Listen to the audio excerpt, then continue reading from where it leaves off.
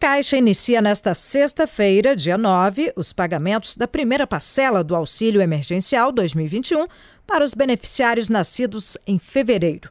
Os recursos serão depositados nas contas poupança social digital.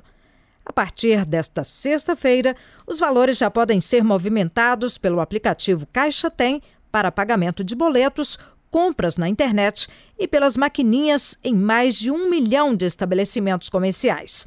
Saques e transferências para quem recebe o crédito nesta sexta serão liberados a partir do dia 6 de maio. Da Rede Nacional de Rádio em Brasília, América Melo.